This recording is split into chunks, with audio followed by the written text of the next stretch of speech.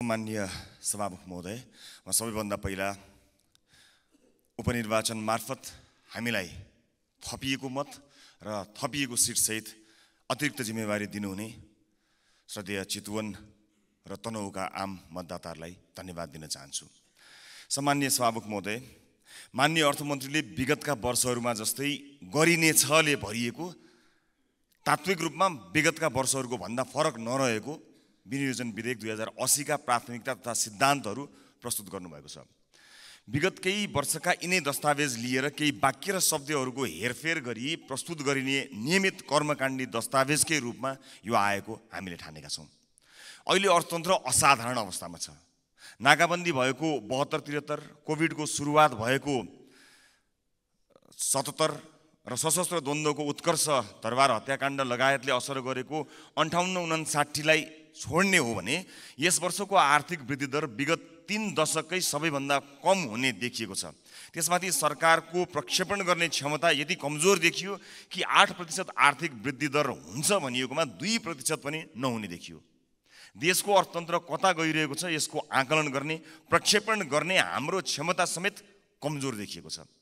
यस आर्थिक वर्षको आठ महिनामा गत वर्षभन्दा कम राजस्व सङ्कलन भएको छ। विगत पाँच दशकमै राजस्व सङ्कलन पहिलो पटक गत वर्षको भन्दा कम हुने जोखिम देखिएको छ।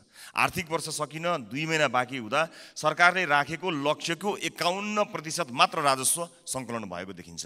यस्तो असाधारण अवस्थामा पुगेको अर्थतन्त्रलाई ट्र्याकमा ल्याउन र आम सर्वसाधारणलाई राहत दिन सधैँको जस्तो कर्मकाण्डी योजनाले के होला? सधैँ एउटै कुरा गर्ने नतिजा चाहिँ अलग अपेक्षा गर्ने हाम्रो बानी हो कि जनतालाई झुक्क्याउने खेल। आशाका पुलिन्दा पुस्किने पस्किने हो कि व्यावहारिक र समाधानमुखी नीति अङ्गीकार गर्ने।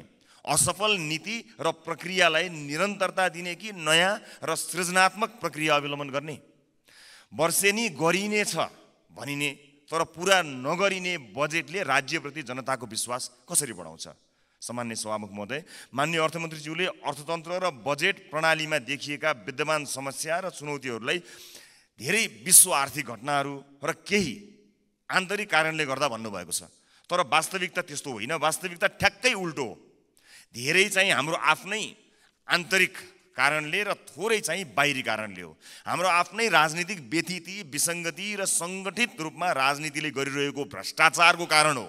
योजनाहरू समयमा पुरा नहुनु र पुरा भएका योजनाहरूले पनि आशातीत प्रतिफल नदिनु वित्तीय क्षेत्रको स्रोत अनुपा अनुत्पादक क्षेत्रमा बढ्नु गैर कानुनी व्यापार तस्करी कर छली बढ्नु सरकारी संयन्त्रको असक्षमता र बेइमानीको कारण हो। बाह्य कारण देखाएर हामी उम्कन मिल्दैन।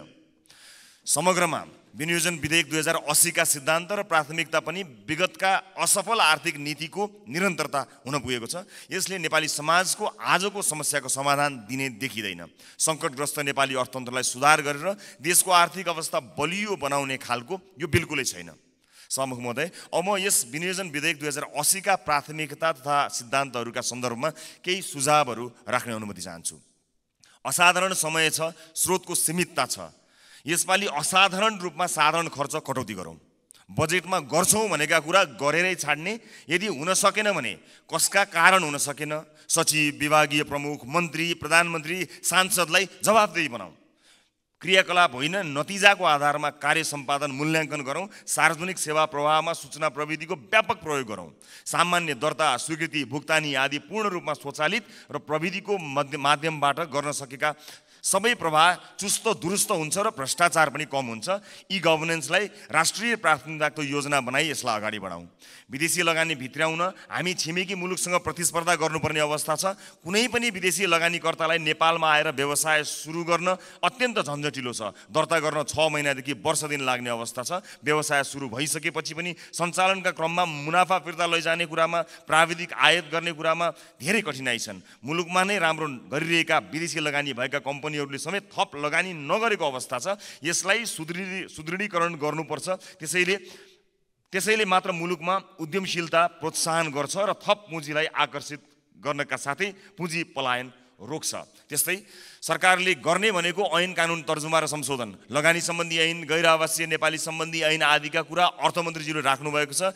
यी तिन महिनाभित्र सरकारको सरकारले संसदमा पेस गरोस्। आगामी आर्थिक वर्षको पहिलो त्रैमासमा यी जरुरी ऐन कानुन निर्माण हो फरक तरिकाले सके सकियो। सके सभामुख महोदय एक मिनट पनि लगाउँदिनँ। फरक तरिकाले काम गर्न सकिएन भने फरक नतिजा आउँदैन। अहिलेको सङ्कटबाट मुलुकलाई पार लगाउन माननीय अर्थमन्त्रीज्यूले विनियोजन विधेयकमा के फरक प्राथमिकता र सिद्धान्त लिनुभएको छ यो संसदलाई विस्तृत व्याख्यासहित जवाफ दिनुपर्छ। माननीय अर्थमन्त्रीज्यूले प्रस्तुत गर्नुभएको विनियोजन विधेयक दुई हजार अस्सीका सिद्धान्त र प्राथमिकताबाट हामी कति पनि विश्वस्त हुन सकेका छैनौँ। सम्मानीय सभामुख महोदय जाँदा जाँदै म मेरो निर्वाचन क्षेत्रमा भएको दुःखद घटनामा यो शङ्कर कणेल आत्महत्या प्रकरणको छानबिन होस् र न्याय मिलोस् पीडितलाई भन्ने कुराको आवाज पनि उठाउन चाहन्छु र अहिले भएको भ्रष्टाचारको यो काण्डमा शरणार्थीको काण्डमा यो ताप्केको बिड तात्यो ताप्दै ताप्दै गरेको ताप्के चाहिँ सेलाएको छ। यो ताप्के नसेलाओस् सिङ्गो देश र अन्तर्राष्ट्रिय समुदायले हेरेको छ। दोषी कोही पनि नउम्कियोस् मिलिजुली एकअर्कालाई जोगाउने काम नहोस्। हामी यसलाई अत्यन्त नजिकबाट निहालिरहेका छौँ भन्दै बिदा चाहन्छु। धन्यवाद।